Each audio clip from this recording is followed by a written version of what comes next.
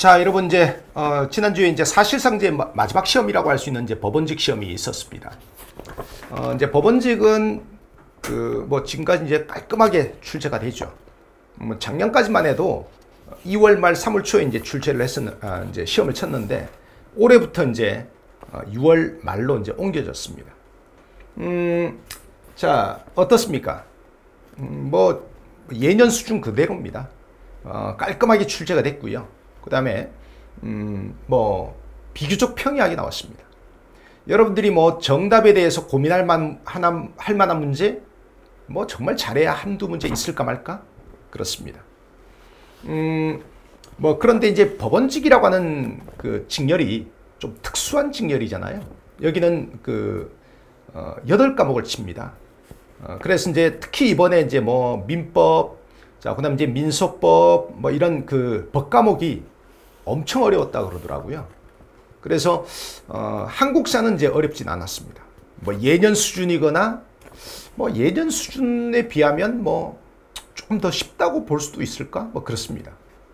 어, 이제 92점이나 96점 정도면 합격권이다. 만약에 이제 구준생들이 푼다면 뭐 솔직히 이거 96점 맞아야죠. 96점이나 만점 받아야죠. 그런데 구준생들은 다섯 과목 치는 입장이고 어, 법원직 준비생들은 8과목 보는 입장이잖아요. 거기는 법과목이 핵심입니다. 그래서 이제 한국사는 어, 짧게 공부해서 어, 만점 못 받더라도 92점, 96점 받는 뭐 그런 식으로 이제 공부하시는 분들이 많죠.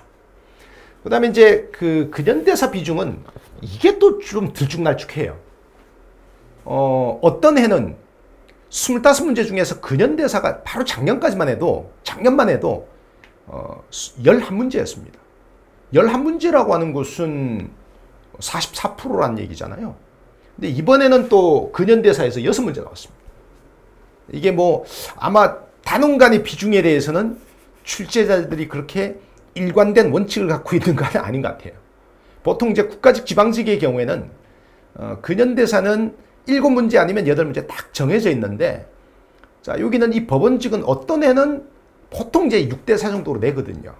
근데 어떤 애는 뭐 근현대사를 뭐 거의 절반 가까이 내는 해가 있고 또 어떤 애는 지금 올해는 근현대사가 지금 유난히 좀 적게 나온 편입니다. 그 다음에 어, 순서 나열은 세 문제가 나왔습니다. 근데 이게 어, 순서 나열이 세 문제가 나온 게 지금 연 3년이 그러거든요. 연 3년이 순서 나열 세 문제씩 나왔습니다. 그래서 이제 법원직이 순서 나열이 좀 나오는 편이고요. 어, 문제를 지금 하나씩 하나씩 보실 건데 제가 봤을 때는 제가 보는 관점에서는 여러분들이 이제 6번 틀린 사람들이 좀 있을 것 같고 6번. 그 다음에 이제 그 15번 틀린 사람 좀 있을 것 같고 느낌에 저희 느낌에 막연한 느낌에 음, 요건 뭐 제가 채점 서비스를 한 건 아니에요. 아니에요. 그다음에 이제 20번 틀린 사람들이 좀 있을 것 같고 그렇습니다. 자, 음, 문제가 그다지 어렵지 않기 때문에 같이 한번 볼게요. 음, 1번 문제는 이제 충자 붙은 임금들, 그러니까 원간섭기 군주들을 물었어요. 뭐 그러니까 뭐 정동행성 이문서가 내정 간섭을 했다. 그게 들어가야 되겠죠. 자, 그건 뭐 어렵지 않고요. 그다음에 이제 2번 문제는 아, 뭐 물론 사람들에 따라서 2번 문제를 조금 어려워하시는 분들도 있기는 있을 것 같아요. 요건 이제 그 사료가 되게 중요하잖아요. 그 좌수와 별감이라고 하는 이 강력한 힌트를 가지고 우리는 이게 이제 유향소라고 하는 것을 뽑아줄 수 있어야 되는데 여러분들 중에서 이제 사료만 나오면 좀 오금이 찌리는 사람들이 있습니다. 그러니까 이제 그 유양소를 어 뭐 쉽게 뽑아주고 뭐 문제를 풀 수 있는데 요걸 또 틀렸다는 사람도 있더라고. 제가 눈팅을 좀 해보니까. 그래서 음 동그라미 4번은 향약에 대한 설명이고 그렇죠? 1, 2, 3번은 전부 이제 유양소에 대한 설명이 맞습니다. 그래서 이제 그런 문제고요. 그 다음에 이제 3번 문제는 요거는 이제 2차돈 나오니까 이건 뭐 버풍왕이죠.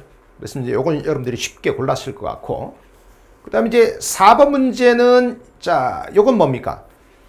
별기군을 창설했다고 하니까, 어, 이제 조선정부의 그 초기 개화 정책 아니겠습니까? 1881년이니까 가에 들어가는 거 맞겠죠? 자, 그렇게, 어, 뭐, 고르시면 될 것 같고. 그 다음에 이제 5번 문제는, 어, 법원직은 이제 꼬박꼬박 남북 대화를 내는 것 같아요. 자, 봤더니까 가는 음, 요거 안 봐도 비디오죠.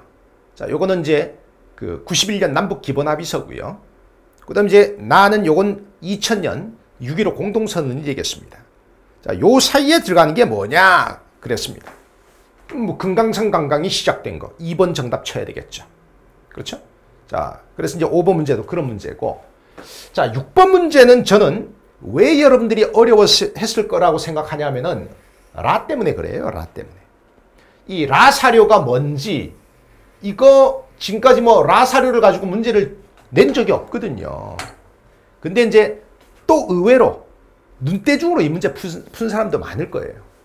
왜냐하면 이제 가나다가 지금 다 이게 뭐예요? 고려잖아. 가나다는 우리가 잘 알고 있는 거예요. 가는 이건 역분전이니까 고려태조 왕건. 그 다음 이제 나는 전식과잖아요. 다 우리 기본서 서브노트에 다 있는 사료죠. 다도 마찬가지로 우리 기본서 다 있는 사료입니다. 요 과전법 사료죠. 조선이 멸망, 그러니까 조선이 개창되기 바로 한 해 전에 1391년 고려 마지막 해죠. 그래서 이제 가나다가 순서대로 그대로 됩니다. 근데 이제 이 라가 뭘까? 여러분들이 이제 대충 봤더니까 오, 지금 도가 나온 게 이게 조선의 팔도잖아요. 이게 가나다는 이게 전부 고려 시대입니다. 그 다음 이제 라는 이건 조선 시대예요. 이게 이제 뭘까? 여러분들이 아마 뭐 상식적으로 이게 라는 조선 같으니까 뭔지 잘 모르겠는데 뭐 가나다가 이게 고려고 어? 뻔할 번째로 가나다는 확실하니까 뭐 정답이 까이거 이거 뭐 정답 이거 뭐 1번밖에 안 되는 거 아니야? 뭐 이렇게 아마 풀었을 거예요. 근데 이 6번의 라는 이거 어려운 겁니다, 이거.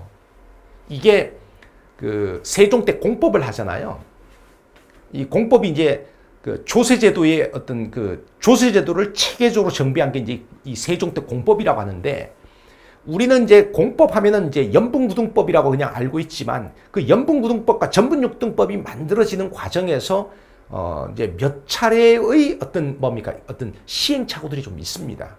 이 라 사료가 이게 언제냐면은 이건 이제 세종 때 이 공법을 시행하는 과정에서 어, 요렇게 했다가 요걸 조금 더 보완했다가 조금 더 보완했다가 그래서 나온 게 이제 연분구등법이거든요. 그래서 이제 요게 어, 세종 때 이 공법 초기에 그 공법의 그 초기 실시 과정을 보여주는 사료인데 그걸 정확하게 알고 푼 사람이 솔직히 있겠습니까? 법원직 준비생들이나 뭐 구준생들 중에서 이 6번의 라 사료를 정확하게 알고 푼 사람이 있겠습니까? 솔직히 없죠.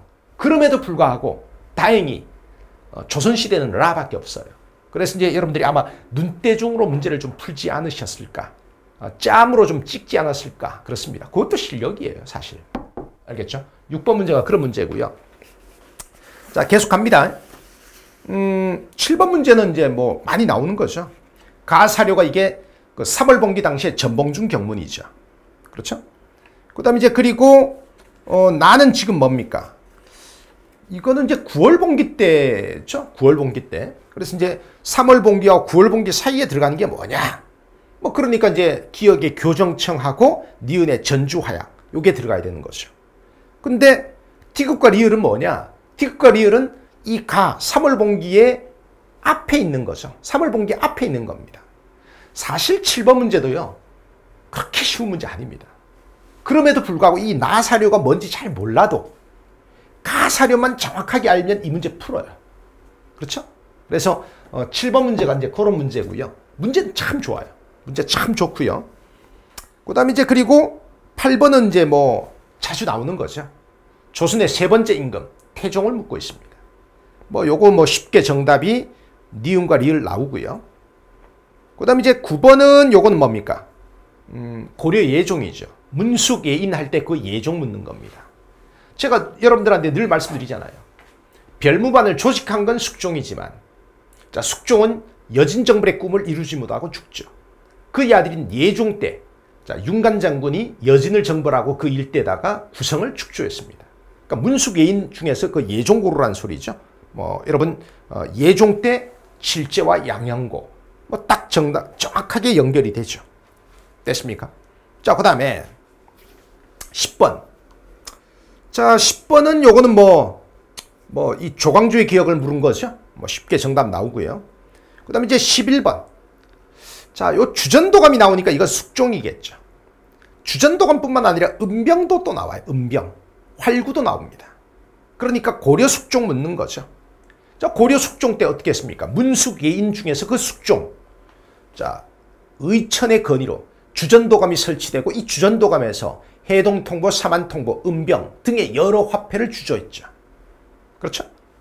자, 그 다음에 티그스의 지원보초. 이건 이제 원간섭기죠. 원간섭기. 그 다음에 이제 리을의 저화.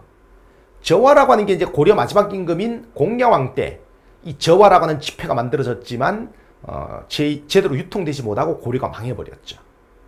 자, 그렇게 봐두시면 되겠고요.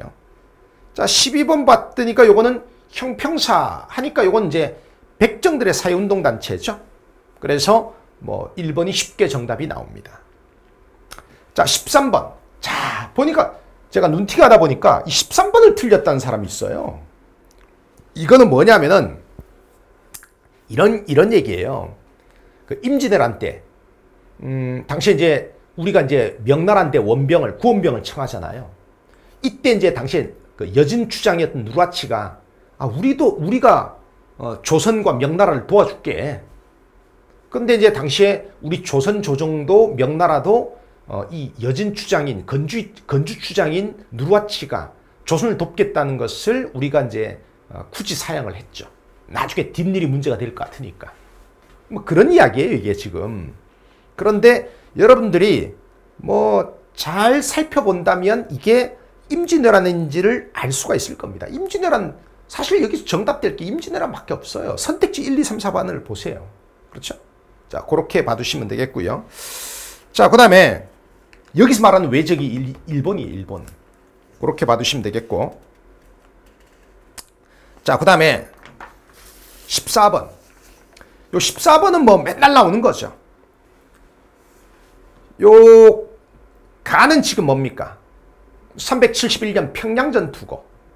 나는 이건 자, 554년에 그 성왕이 전사는 그 관산성 전투가 되겠습니다. 그러니까 이 가와 나 사이에 있었던 건 뭐 쉽게 정답 고를 수 있죠. 뭐 정답이 2번밖에 없습니다. 나머지 1번, 3번, 4번은 전부 7세기에 있었던 사건들이니까. 그렇죠? 자, 그 다음에 이 15번 문제 틀린 사람들이 좀 있는 것 같아요. 요건 이제 우리 구기본서에 있었고요. 우리 제가 절대 사료 수업할 때도 이, 이야기하죠. 자, 이들은 고려 향리를 말하는 겁니다. 알겠죠?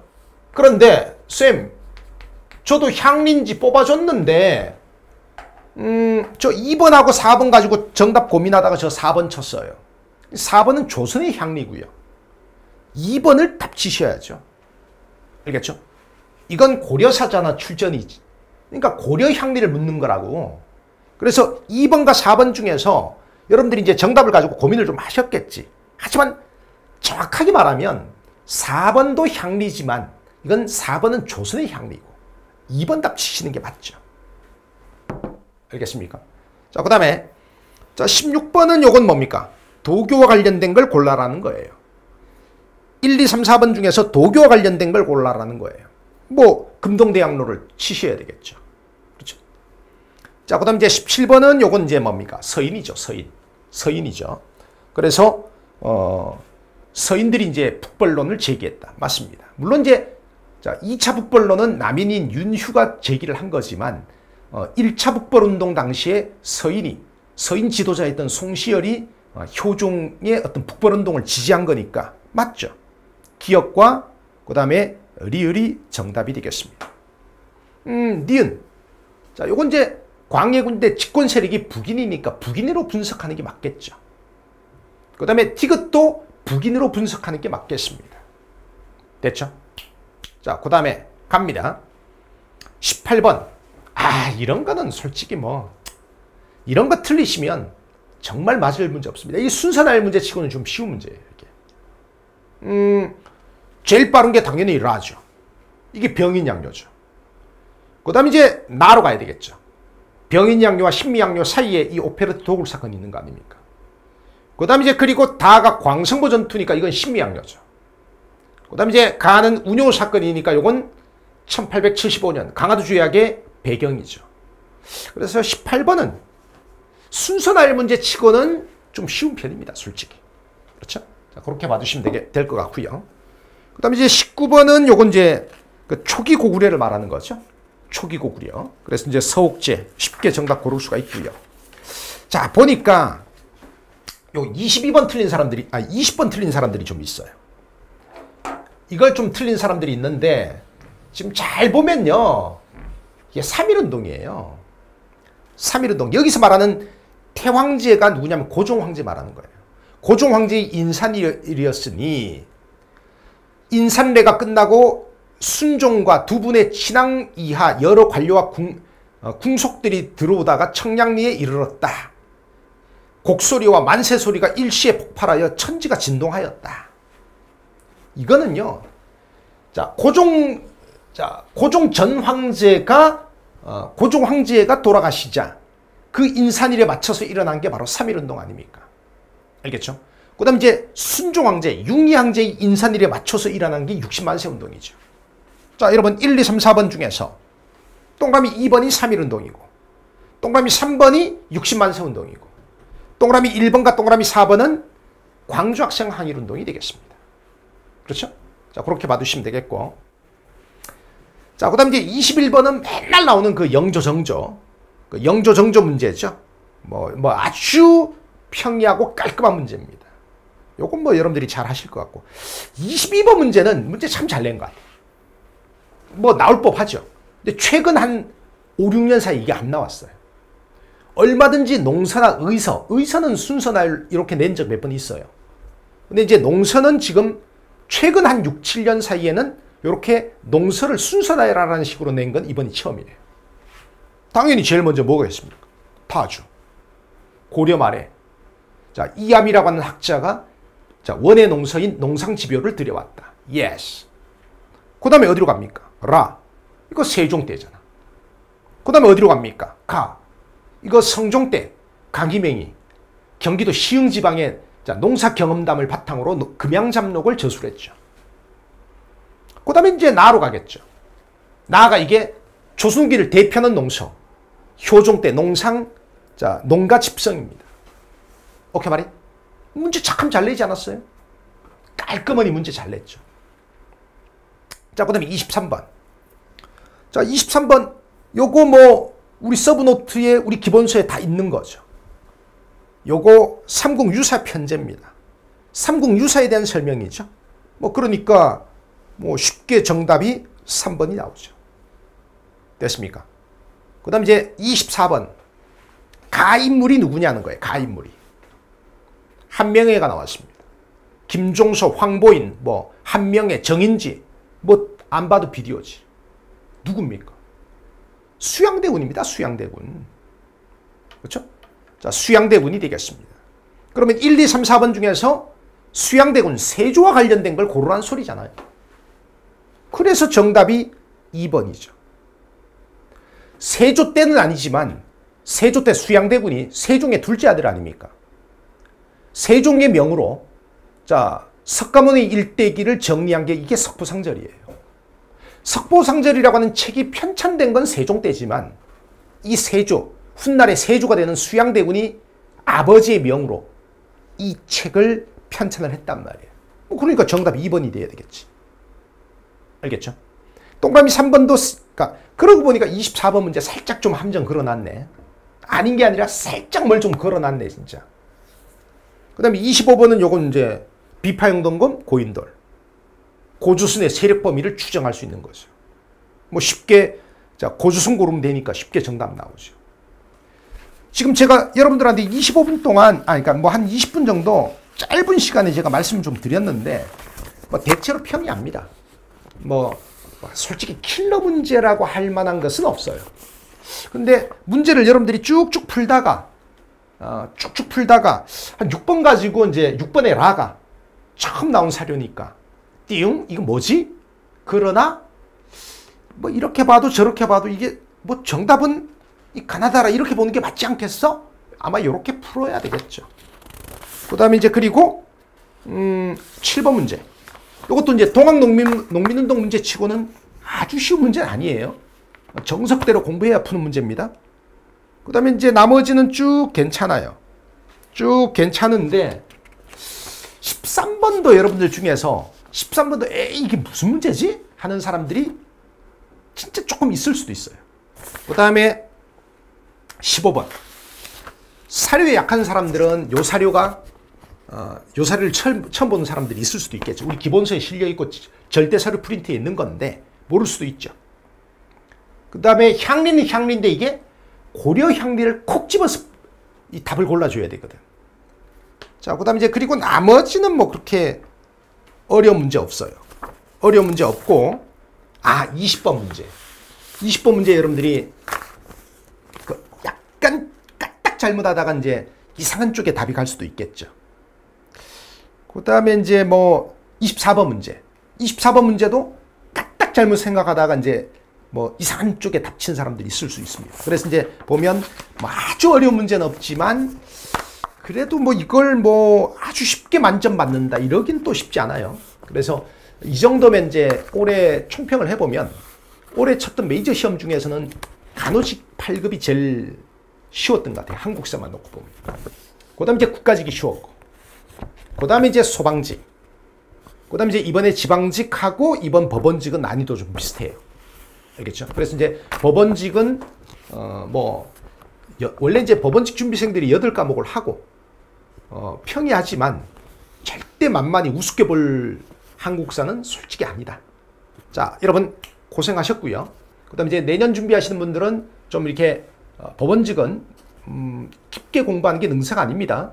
적게 공부하고 꼭 만점은 안, 안 받더라도 96점만 확실히 받으면 합격한다.